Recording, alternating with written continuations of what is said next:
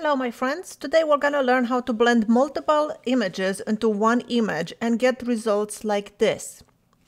For this image I shot this flower, this is the flower, and the way I shot it, I used f7.1, 1 100 of a second. I used my 90 millimeter uh, macro lens with a Sony A1.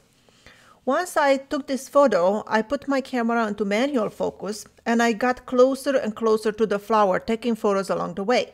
So that was my first photo. Then I got a little bit closer and because it was a manual focus and I did not reacquire focus, I left the focus the way it was here. When I got closer, it got a little bit more blurry and filled the frame a little bit more. Then I got even closer and it filled the frame a little bit more and got more blurry and so on until I filled the frame with the flower and the whole thing was a big blur. Now, how can we use this? Well, I am going to choose my images. I'm going to choose this one and then this blurry ones. In order to choose multiple images, I will press Command while I click, hold down Command and click on these images to select them. So I have two, four, six, eight images. With these images selected, I would go to Photo edit in, and then open as layer in Photoshop. Now I already did this, so you don't have to wait. Well, first I'll have to show you, I already did some basic editing on this image, just like, you know, the exposure and nothing too fancy, just, you know, lifted the shadows a little bit, get a little bit more contrast and so on. Now that we have the photos in Photoshop, here they are, you can see I started with this image and then added the layers. Now that we have all these images in here as layers, I will click on the first layer, hold shift, click on the last layer, and I'll do command J to duplicate them all. So now with the images selected, I will right click on it and say convert to smart object. So now one set of those images will be converted all into a smart object. These other images, the original images that I had, they're still there just in case I need them later.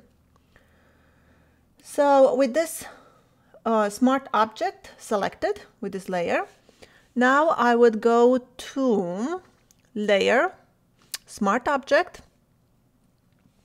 and then stack mode and median. And now Photoshop is going to do its magic and stack them all and average them all out.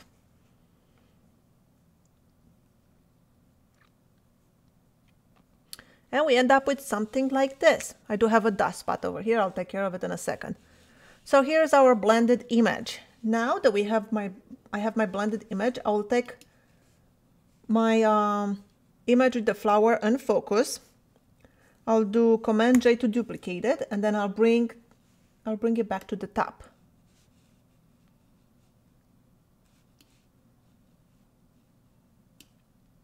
All right. Now with this image in focus selected, I will click option and make a mask. That way it makes a negative mask.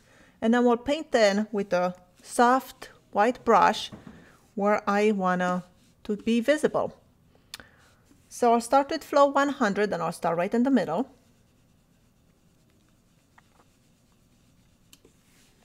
And then I'll reduce the flow to maybe, let's see, 10%. And I keep going around to get a little bit more detail. And uh, X to toggle between the white and black because I went a little bit too far here. So I'm gonna blend that one like that. All right. Now when I'm looking at my image, I don't like this corner has this yellow blob. This ones over here don't have a lot of details. So what I will do, I will take my lasso tool and I am going to select this corner that I do like and go Command J to duplicate it on its own layer. I'll move it to the top and this is my layer. With this layer selected, I'll go Command T to transform it right click right on the image and flip vertically. And now I can move it to the top. And now that I have it to the top, I will create a mask. First I have to click OK. Then I will create a mask. B for the brush, uh, black to hide, and flow, I'll go 100%. I'll just kind of blend it so you don't see the edges. And we'll just go like that. All right. Now, I really like the right side of the image, but I just have to fix the left side of the image. I will flatten my image. I will right click on a layer and go flatten image and the command J to duplicate it. And now with my lasso tool, I will select the right side of the image, Command J to put it on its own layer, Command T to transform it, right click on it and flip it horizontally. And now I can hold shift so it doesn't move up and down and just move it to the left. And accept the transformation.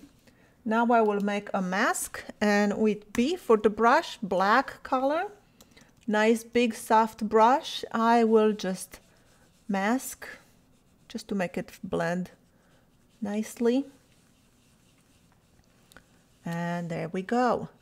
And now we have a very symmetrical, very pretty flower.